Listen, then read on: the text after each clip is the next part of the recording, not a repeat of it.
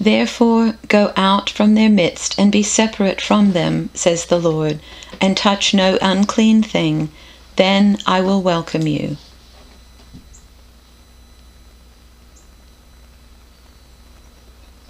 Therefore come out from them and be separate from them, says the Lord, and touch nothing unclean. Then I will welcome you.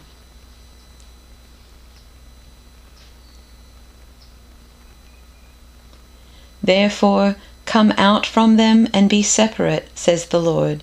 Touch no unclean thing, and I will receive you.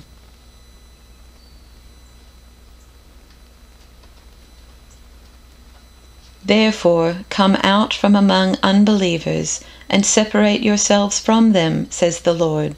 Don't touch their filthy things, and I will welcome you.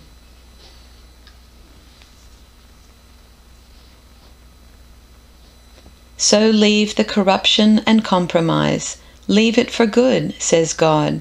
Don't link up with those who will pollute you. I want you all for myself.